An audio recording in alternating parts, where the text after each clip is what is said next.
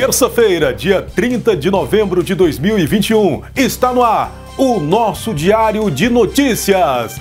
Tudo o que acontece em Montes Claros, tudo o que vai acontecer em Montes Claros, você acompanha aqui no nosso Diário de Notícias. Tudo o que acontece vira notícias. É, abraço para você que acompanha aí o nosso programa diário de notícias pelo canal do YouTube, o canal Monte Salo, TV Monte Salo no YouTube, e também para você que acompanha pela rádio Carandá FM. E daqui a pouquinho eu vou chamar ela, a Tina Vasconcelos. A Tina vai explicar pra gente, a gente vai bater um papo aqui e explicar como é que nós vamos fazer para poder é, continuar com o programa ou parar com o programa, né? Qual seria a ideia? Vamos encerrar o programa, até porque já completamos já o terceiro programa, né? Ou a gente vai continuar. Se a gente for continuar, a gente tem um plano. E esse plano envolve diretamente você que está acompanhando aí. Vamos para os destaques desta terça-feira do nosso Diário de Notícias. Homem morre ao ser atingido por descarga elétrica de raio lá no Morro do Engenho. Moradores do setor Cidade de Deus expõem uma série de reclamações de descasos. Gerente da FUNASA fala sobre as ações de combate à dengue. Seja bem-vindo, seja bem-vinda a mais uma edição do nosso Diário de Notícias.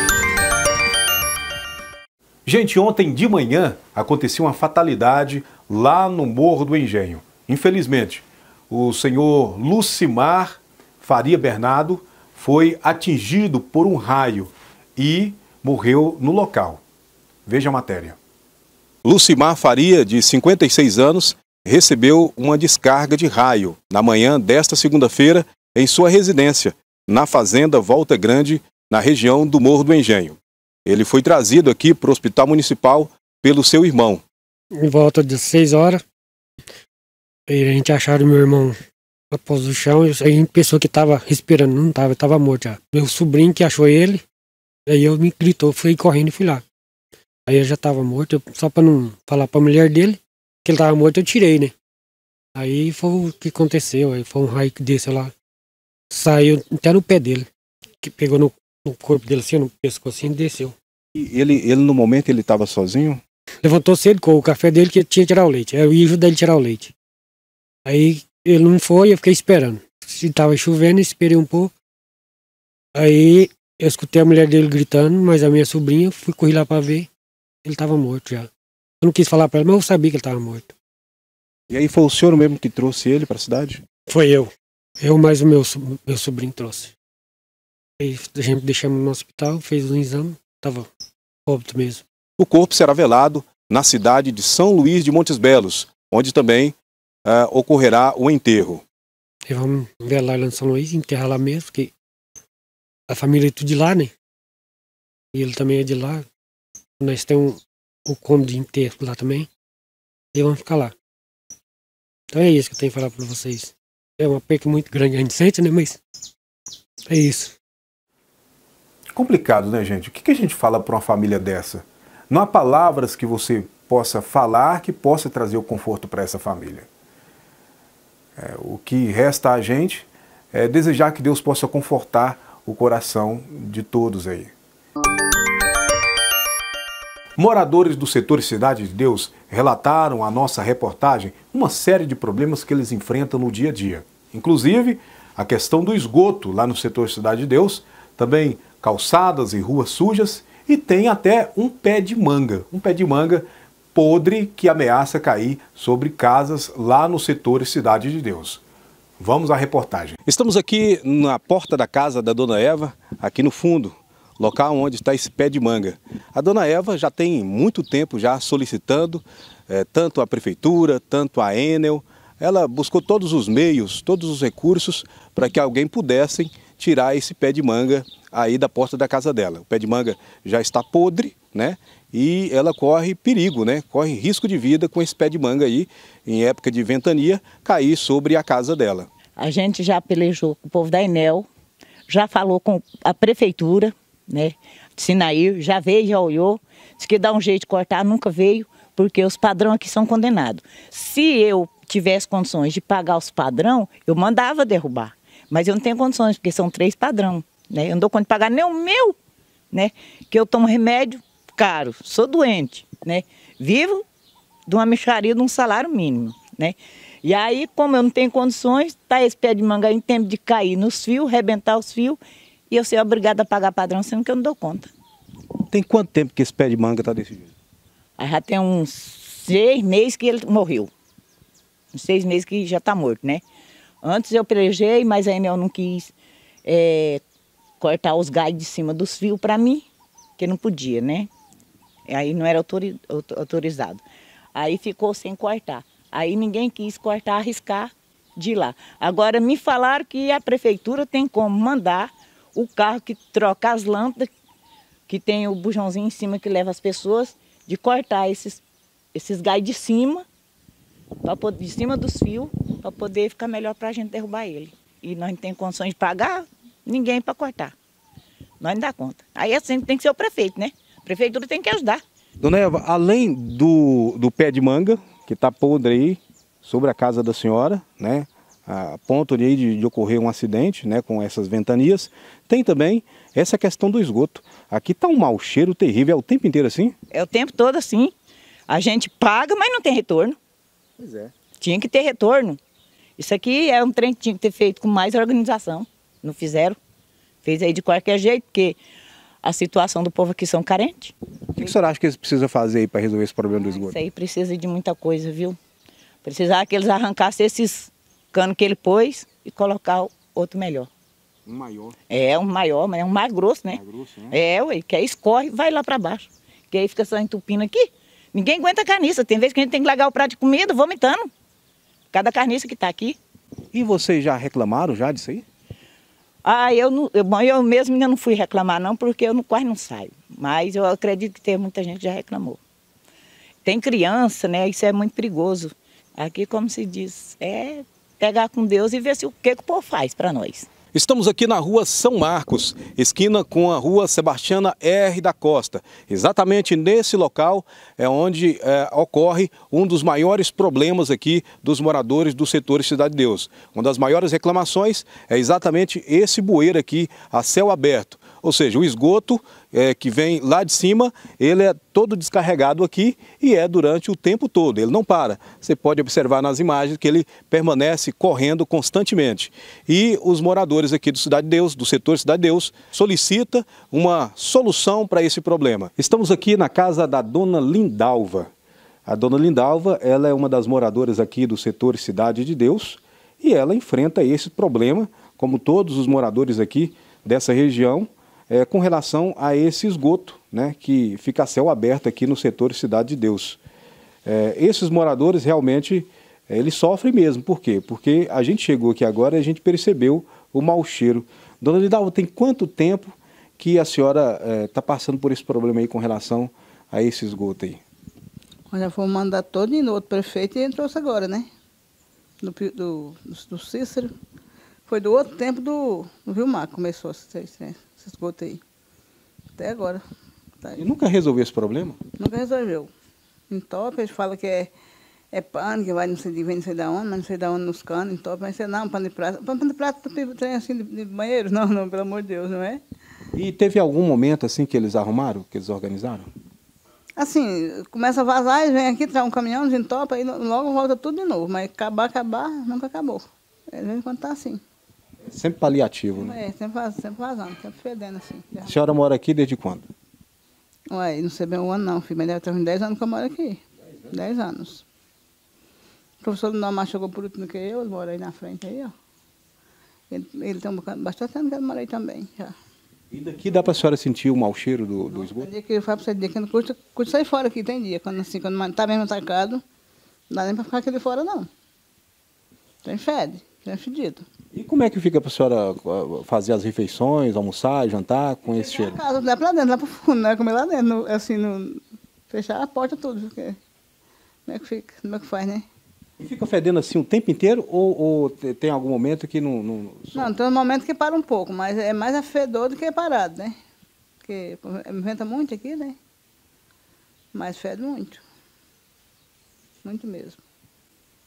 Bom, esse é um problema. aqui, todo mundo aqui sofre, de cima aqui fala que é coisa, mas eu, mas meu celular da máquina nós é pior ainda, que nós sabemos nossa porta aí, ó. A dele tem dois lados dele assim e essa minha aqui. Esse negócio aí, fedido. Ou teve uma vez que saí na frente aí, ficou até verde, tanta, tanta água suja de, de, de, de, merda aí na frente aí, ó. Tanto que o trem ficou feio. Eu não abriu um, um rego ali para descer para baixo aí, ó. Foi melhorar um pouco, mas ao contrário, né, feio. Fedido. A gente tá de idade, né? A gente tem problema, né? Aí fica mais doente ainda, porque é complicado, né? Mas vamos ver se rumo agora, né? Estamos aqui na rua Santa Luzia, onde o professor Lindomar é um dos moradores. E ele vai falar para a gente sobre a história dessa, desse esgoto aí. Lindomar tem quanto tempo, quanto tempo que existe essa história desse esgoto e que não foi resolvida ainda? Ô Gilmar, tem pelo menos 10 anos que a gente tem sofrido, por um certo tempo, é, essa situação do esgoto.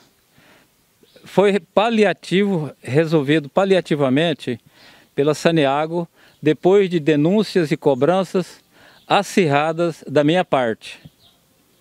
O pessoal de Iporá, com o pessoal daqui, sensibilizado com a nossa situação, porque a prefeitura não resolvia, o prefeito não se, não se importava, correto? E eles se sensibilizaram, eu liguei em Goiânia, passei na ouvidoria, aí eles vieram e com um dia de serviço paliativamente reforço, resolver o problema. Ainda persiste de alguma forma, é, geralmente nessa época das chuvas, é, o esgoto volta, de certa forma, a nos incomodar. Mau cheiro, até enxurradas tem é, invadido, é, tem entrado subterraneamente pelo esgoto e sai na, nas, na, na, nos PV, né? Essa parte dessas manilhas redondas aqui onde a gente vê ali, ó, e sai água. Acho que o, pro, pro, acho que o problema é essa rede nesta rua, que também é uma calamidade pública, a gente você vai mostrar aí depois, com certeza, né? É, falta de uma, uma revisão ou refazer esse esgoto aqui. Porque ele vem, esse esgoto vem lá, lá para cima do, do, do, do trevo, saída para Jalpaci, vem água e escorre por aqui. Quer dizer, para nós aqui nós estamos no lixo, praticamente no lixo. Né? Fim da cidade é lixo para nós aqui. O que, que você acha que pode ser feito para resolver esse problema definitivamente? Esquecer o paliativo? Refazer esse esgoto, refazer essa parte final, que ali o cano é de 100 milímetros. E a parte de baixo da rua aqui, que nós estamos próximo aqui, abaixo, é de 200 milímetros, correto? Portanto, a situação aqui só se resolverá por completo se for feito novo, nova, nova rede de esgoto nessa rua que, é, que termina aqui nessa, nesse asfalto nosso aqui. Não tem outra saída. E quem faz essa rede de esgoto é a prefeitura? Seria um trabalho em parceria, Saneago, prefeitura, né? Saneago prefe... e prefeitura, exatamente. Além do problema do esgoto, né, que a gente acabou de passar ali, viu que está é, tá exposto ali para todo mundo ver. Quais os outros problemas é, o setor Cidade de Deus, principalmente essa parte aqui debaixo do setor Cidade de Deus, tem sofrido? Gilmar, essa rua nunca prestou depois que foi construído esse esgoto. Nunca mais prestou. A gente anda por aqui e não, não, não tem uma, uma, um deslocamento né, por ela, até mesmo com segurança. Ainda mais você andar por ela é, nessa avenida aqui. Ó asfalto já se foi, as enxurradas descendo das ruas do, setor aqui Cidade de Deus, é, acaba estragando o restante que esta rua tem aqui para nós. É uma vergonha. Nessa época é uma tristeza. Não tem como, não tem coisa pior para nós essa rua aqui, final do, do setor Cidade de Deus. O nosso setor, que nós muito amamos. Agora, tem outro problema também que eu não sei que se você sofre aqui, é, a, a, mesma situação dos moradores mais na frente ali, que é a questão da, das águas, da, das chuvas, Isso. que entram para dentro da casa dos moradores. Isso. O que, que precisa ser feito ali para resolver esse problema, Domar? Eu acho que esse problema está na rua, né? Se resolver o problema da, da, do esgoto, aliás, do pluvial na rua, além do esgoto, vai resolver também essa invasão de água na, na, em várias casas, né, em várias residências, abaixo da rua né, aqui da nossa avenida. É, nós tivemos que recorrer ao Ministério Público em razão do descaso é, destes políticos já nesta época, correto? Até hoje, o Ministério Público também ainda não nos, de, não nos de, deram ou não nos deu um parecer a respeito dessa situação. Volto a repetir, a Saneago, do pessoal de Porá, sensibilizado com a situação desse esgoto aqui no final dessas duas ruas, é que vieram e resolveram paliativa, paliativamente o problema. Você acha que esses problemas eles, eles são uh, possíveis de serem solucionados? Gimal, tem certeza que sim. Basta que o poder público, o nosso prefeito, a administração municipal, faça a limpeza do nosso setor, das ruas, né? Não é só essas ruas aqui não, é do setor de cabo a rabo, tá? Desculpa a palavra, mas é de cabo a rabo. Nosso setor Cidade de Deus é, está nesse descaso, como eu disse, esgoto, rua, sujeira, mato e falta de limpeza e as calçadas. Não tem calçada no nosso setor. Não, não tem, praticamente não tem. Eu até parabenizo aquela calçada que fizeram em volta do quarteirão da escola, do CEMEI, né? Miguel Ferreira Lima. Eu parabenizo. O que está tá bom, eu parabenizo. Mas o que está ruim, você pode voltar a me procurar, que eu quero falar mais. Igual essa chuva de ontem, por exemplo. Essa noite, de ontem não, essa noite. Tem muita gente que com certeza ficou meio difícil para entrar na casa dele, com seu carro e até mesmo a pé. Isso é uma vergonha. Eu gostaria também de parabenizar você, Tina, equipe, né? Deve ter mais pessoas que tá colaborando com você nessa, nesse trabalho e desejar a nossa cidade, a nosso povo, a todos nós um feliz Natal, que um próspero ano novo e que tudo em 2022 seja mais agraciado por Deus seja mais abençoado por Deus, né? E agradecer a Deus se ainda estamos vivos, tá certo? Porque estamos entregues nas mãos dele e a nossa cidade também. Então eu peço é, para todos, por todos nós, Montes Clarence, que Deus nos abençoe e parabéns para você, parabéns para a Tina por esse belíssimo trabalho. E eu estou à sua disposição para o que der e vier se você precisar de mim. Fé em Deus. Bom, nós tentamos várias vezes, né? É, um contato com o secretário municipal de Obras e Serviços Urbanos, o Sinaí Ribeiro, né? Inclusive ele sempre foi muito solícito a gente, ele nunca negou da entrevista. Mas houve contratempo, nós nos desencontramos e não foi possível gravar uma entrevista com o secretário Sinaí. Mas ele entrou em contato conosco através de WhatsApp, né? Com relação ao pé de manga lá da Dona Eva, ele disse o seguinte: é, para que ele possa derribar o pé de manga, é necessário que a Enel corte a energia dos padrões. Ele disse que levou o caso para o vice-prefeito Danilo e também para o vereador Hélio Pedreiro e aguarda que seja feito um contato com a Enel né, para que a Enel possa desligar os padrões e ele derrubar o pé de manga. Com relação ao vazamento da rede de esgoto, o secretário disse que não é de responsabilidade da prefeitura, e sim da Saneago. Com relação à limpeza lá do setor Cidade de Deus, o secretário disse que haverá limpeza o mais rápido possível. Inclusive, segundo ele, ainda nessa semana haverá operação tapa-buracos no setor Cidade de Deus.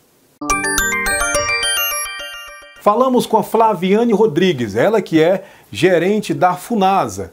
Ela passou para gente as ações que a equipe está desempenhando em combate à dengue no município. Vamos à reportagem. Em outubro a gente já começou, né, fazendo um arrastão pela cidade de Montes Claros.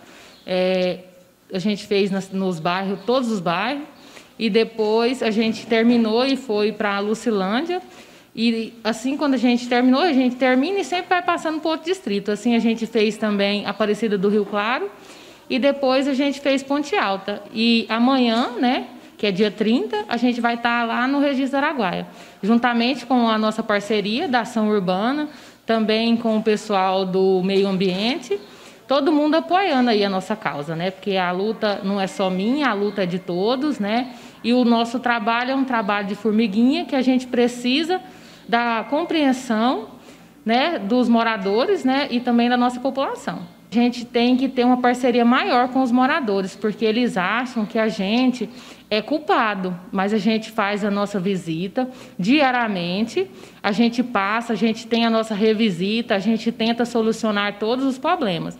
Mas a gente, para solucionar, a gente precisa de quem? O principal é o morador, ele tem que estar de conjunto com a gente, nos apoiando. E na maioria das vezes eles recusam a nossa visita. Às vezes eles fingem que não está na casa e às vezes eles é, não acham importante. E na verdade é muito importante.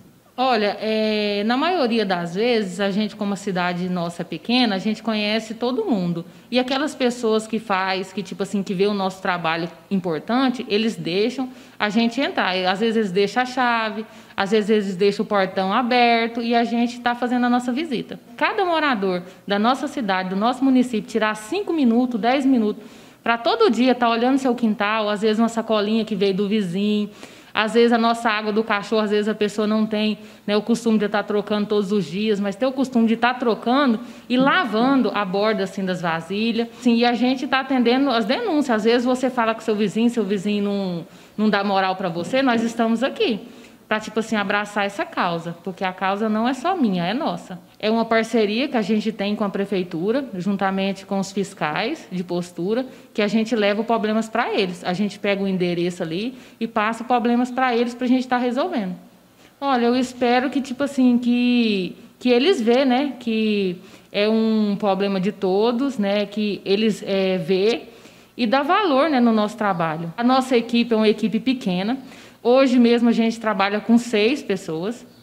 Você vê, a gente atende todo o município, toda a nossa cidade e nós somos seis. A gente trabalha de parceria com a vigilância sanitária, a gente trabalha é, de parceria também com é, a epidemiológica e nós da FUNASA. Aí o que, que acontece? É muito trabalho para pouco servidor. Mas a gente sempre teve aí, conversando, orientando, é, indo nas casas, a gente não parou. E a dengue, ela tá aí. Não é só de agora que nós não esquecemos, não. Nós que trabalhamos no combate à dengue, a gente está trabalhando dia a dia. Nós não tivemos folga e nem férias. Ressaltando, né, que o mosquito da dengue transmite a dengue, né, que todo mundo sabe, e ele também transmite é, a febre amarela urbana. E dengue mata. Vamos todos cuidar do quintal agora nesse período chuvoso, né? Vamos ficar atento. Temos que ficar atento porque dengue mata. E acabou mais uma edição do nosso programa. É, mas acabou por hoje, né, gente? Acabou por hoje. Aliás, eu quero lembrar a vocês o seguinte, que nós fizemos um compromisso. Vocês lembram que a gente ia fazer três programas piloto? Pois é, então, chegamos ao número 3. Fizemos a primeira edição, a edição de estreia, na sexta-feira, e nós tivemos a segunda edição, que foi segunda-feira, né? E agora terça-feira, a terceira edição. Portanto, acabou o nosso compromisso, acabou o jornal por aqui. Nós não vamos fazer mais nada de jornal porque era só três. Nosso compromisso eram três jornais. Então já fizemos três edições de jornal. E aí? O que, que você achou? Jornal foi bom? De acordo com aquilo que você pensava que seria? Tá te surpreendendo? A qualidade do jornal é bom, é boa a qualidade? E o conteúdo do jornal é um conteúdo bom? De acordo aí com que você esperava que poderia ser um jornal? Pois é, a gente tem é, se desdobrado ao máximo, a gente tem que realmente, a gente tem suado muito a camisa, a gente tem, tem saído sangue da, do nosso corpo, né? É, de tanto trabalho que a gente tem dedicado a esse jornal. Eu e a Tina, a gente não está parando, viu? A gente está trabalhando mesmo. Aliás, a gente tem encontro aqui no estúdio todos os dias à noite, né? Enquanto vocês estão dormindo, a gente está trabalhando, viu? Então a gente tem se dedicado muito. E para quem me conhece sabe que eu sou chato pra caralho com relação à qualidade. Eu gosto mesmo de qualidade.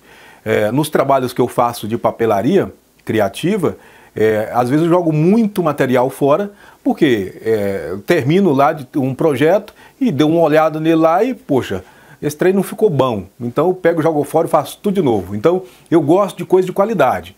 Então é o seguinte: é, qual é a proposta que nós vamos fazer para você hoje? Para você que está aí acompanhando, assistindo o nosso jornal, Nesta terceira e última edição, nós temos uma proposta e é por isso que eu vou chamar a Tina, meu povo. A Tina é a nossa produtora, a Tina é a Amanda Chuva deixa. Chega aí, Tina, chega aí. Essa mulher é a Amanda Chuva. Oh, olha só, gente, olha só o estilo da menina. É esse padrão que eu quero para esse jornal, Tina. É exatamente isso aí, Tina. Olha só, gente, que elegância dessa menina. gente, é o seguinte. É, vamos falar de coisa séria mesmo. É o seguinte, nós estamos adorando fazer o jornal.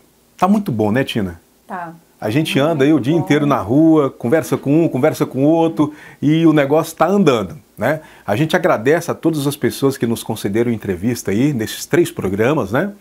É, e a gente realmente está com o intuito de fazer com que o programa continue, né, Tina? Que ele dê continuidade, que ele siga para frente, certo?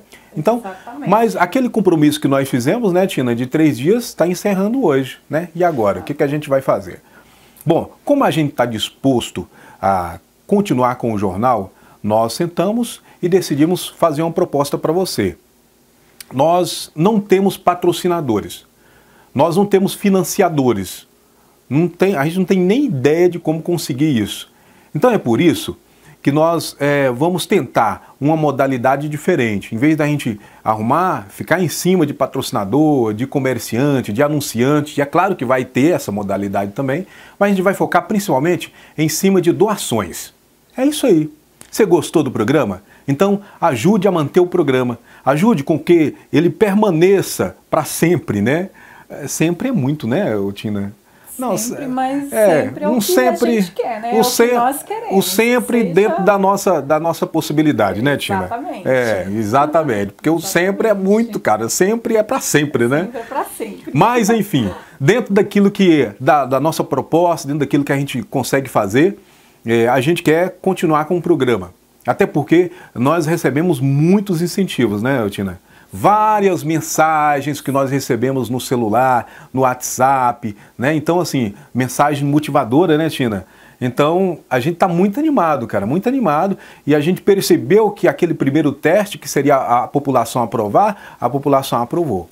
Já né, Tina? Aprovado, né? Tá aprovado. Então, graças a Deus, é. o primeiro teste. Agora, gente, é o segundo teste, é manter o programa no ar. Então, o seguinte, quanto que você pode doar por mês? Vamos fazer um compromisso aqui. Nós vamos ralar pra caralho, muito mesmo, para oferecer para você um, um, jornal de qualidade, como a gente tem apresentado nesses três dias. Vamos trabalhar muito para a gente oferecer informação para você. Você pode ficar tranquilo aí na sua casa, em qualquer lugar do Montes Claros, qualquer lugar da região, do estado, do país, que você vai ter informação de Montes Claros, que a gente vai trabalhar pra caralho, viu? A gente não vai parar não. É nesse padrão que você está vendo aí. Então nós fazemos esse compromisso. Então nós queremos também que você faça um compromisso com a gente. Quanto é que você pode doar todo mês para manter o jornal no ar? Quanto?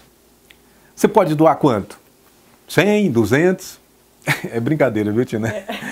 Ah, eu lembrei do, do, do, caso do pastor da televisão. O pastor da televisão ele tem esse negócio, né? É, uns programas de televisão. Ah, irmão, você pode doar a quantidade que você puder aí e tal. Pode doar 100, 200, né? Então ele já ilude a pessoa a doar aquele valor lá. Não. Você pode doar qualquer valor, cara. Você doa 5 reais, 10 reais, é, 20, 30, 50. Você consegue fazer um compromisso de quantos reais por mês para manter o jornal? E eu quero falar outra coisa também. O jornal não é só eu e a Tina. Nós precisamos de mais uma terceira pessoa para trabalhar assim nessa, nesse mesmo padrão, né? Nós temos o velho que nos dá também é, apoio. Nós temos o Jânio Nazaré de Paula que passa a informação do jornal é, de, de, de notícia de esporte, né? Mas nós precisamos de mais uma terceira pessoa. Por quê? A produção do jornal é muito demorada. Você pegar, fazer a edição e fazer todo o trabalho de produção. É muito demorado. Então, a proposta seria eu ficar na produção. Então, a Tina mais uma outra pessoa vai para a rua, né? Para poder fazer a reportagem, buscar informação, traz para mim aqui para o estúdio, eu faço a produção. É claro que essa não vai ser uma regra, porque vai ter casos em que eu também vou para rua, até porque eu gosto de ir para rua. Né? Vocês perceberam aí, eu gosto de estar na rua, de estar entrevistando. Então, vai ter casos que eu vou fazer isso. Mas nós precisamos de uma terceira pessoa. E isto tem custo, cara. Por quê? Porque a Tina, a Tina é o seguinte, ela se dispôs né, a gente fazer uma experiência com o jornal. Ela se dispôs. Né? Ela tem o tempo para fazer isso e nós temos, temos feito isso de acordo com o tempo que ela tem mas ela precisa ser remunerada pelo tempo, né? Porque ela está dedicando, ela está fazendo um trabalho ali, né? Em vez dela estar tá trabalhando no emprego dela, ela tá, ela veio dedicar ao jornal. Então precisa e é um trabalho, né? Então precisa ser remunerada. Então a remuneração da Tina, a gente precisa de recursos para isso, a gente precisa de recursos para a remuneração de uma outra pessoa e a gente precisa de recurso para investimento em equipamentos. Eu estava falando para a Tina aqui, a gente precisa de uma outra câmera, uma filmadora, nós precisamos também de um tripé melhor do que esse aí que a gente usa, né? Que esse aí é bem, esse aí, esse aí ele deixa a câmera toda tombada assim, ó, né? Toda torta, né? E é um trabalho danado para a gente conseguir equilibrar ele, né? Então nós precisamos também de um, um, equipamento chamado mesa de corte, né? Que ela vai fazer o corte de imagens para a gente fazer o programa ao vivo, cara. Ah, tem gente que acha que é ao vivo, mas o programa é gravado. Esse programa está fazendo ele gravado, tá? Mas a gente vai fazer ele ao vivo, vai fazer toda a produção, né? Das reportagens, que aí vai ser gravadinho, mas a apresentação, que é isso que a gente está fazendo agora, vai ser ao vivo. Mas para que a gente possa fazer isso, a gente precisa de equipamento. Uma mesa de corte, por exemplo, é, nós vamos precisar também de uma placa de captura de, de, de áudio e vídeo também. Então, assim, os equipamentos a gente sabe o que, o que precisa, né? Porque essa parte técnica a gente compreende. Mas para isso nós precisamos de você como colaborador. Então nós precisamos aí, ó, nós precisamos de, uma, de um acordo, chegar num acordo, no bem comum. Né? Quanto é que você pode colaborar por mês para manter o programa diário de notícias no ar? Quanto que é? Quanto que é que você pode fazer aí? Hã? Nós está pedindo é doação mesmo. Nós é pobre, né, Tina? É, então nós quer doação. Nós também vamos ter a modalidade de anúncio né, no, no, no, jornal, anúncio comercial também. Mas o nosso foco não vai ser o anúncio comercial, até porque o anúncio comercial ele vai tomar espaço ali no jornal. Então esse não é o foco, mas a gente vai arrumar também, tá? As pessoas que vão fazer doação, é, a gente vai colocar lá no final do vídeo, né, no final do jornal, todo final do jornal vai ter lá o nome dos doadores, tá? Para a gente colocar lá para a pessoa, né? É, é uma forma de agradecer ao, ao doador, né? É, pelo patrocínio, né? Aqui ao jornal, né, né, Tina? não quiser também, né? É, tem apareça, exatamente. Gente... Tem gente, tem gente que fala, não, eu quero colaborar, mas eu não quero aparecer, não. Não, tudo bem, né? Tudo bem, a gente não vai colocar o seu nome, tá? É, claro, tem as exceções, né? A gente, a, a, a, o, o, na verdade, o plano né, é a gente colocar todo mundo, mas sempre tem aquela pessoa que fala, ah, não, eu não gosto, tal, não gosto de aparecer, não, não preciso colocar meu nome, mas tudo bem. O importante é você colaborar. Então, seja um colaborador. Para você ser um colaborador, é só você entrar em contato com a Tina. Nós temos o Pix, né, Tina? Você lembra do é, Pix? Sim. O nosso Pix é pix@montesalo.com.br. É isso aí. É. Pix, vou repetir de novo, Pix arroba montesalo.com.br. Já está valendo as doações a partir de hoje. Hoje, terça-feira, está valendo as doações, porque hoje é o último programa. A partir do programa de amanhã, já, a Tina já precisa ser remunerada já. Entende como é que é? Tá vendo o negócio? Então, ó, vamos embora. Você não queria? O treino não tá bom? A qualidade não tá boa? Então vamos colaborar, gente. Vamos fazer o negócio funcionar, né, Tina? É. Exatamente. Tá feliz, Tina? Tá gostando, se vocês estão felizes. Então, faça essa colaboração com a gente, né? Essa doação, que para vocês continuarem sendo informados, sendo atualizado, né, Gil, das exatamente, notícias. Exatamente, Das notícias exatamente. da nossa cidade, da nossa até do nossos distritos, né, isso, né, Gil? É isso. Gente, nosso é porque é o seguinte, é, é vai depender é, da, da colaboração das pessoas, né? É. é igual hoje nós estávamos falando, a gente precisa pensar alto, né? Por exemplo, a gente pode colocar a equipe nas cidades vizinhas é, também, né? É. Para poder participar do projeto. Aí vai depender, vai depender é, é, da contribuição, vai depender de você, né? Que está acompanhando aí. Então é o seguinte, ajude a manter o nosso jornal. Nós não temos nenhum patrocinador, nós não temos nenhum anunciante. nós não temos nenhum financiador, mas nós vamos ter a partir de agora, a partir de hoje nós vamos ter, certo? E você pode ser um desses financiadores, tá certo? Se quiser qualquer outra informação, entre em contato com a Tina. A Tina, ela é a secretária, ela é tudo aqui, cara. Então ela resolve todas as coisas. Qualquer informação você fala com ela, tá bom? E eu tá vou certo? estar aqui prontinha para atender vocês. Oh, tá vendo? então, vamos encerrar o programa, né, Tina? É, vamos Mas falou pra caramba hoje, hein? Falamos, Porra, né? Falamos muito hoje. Gente, abração pra você.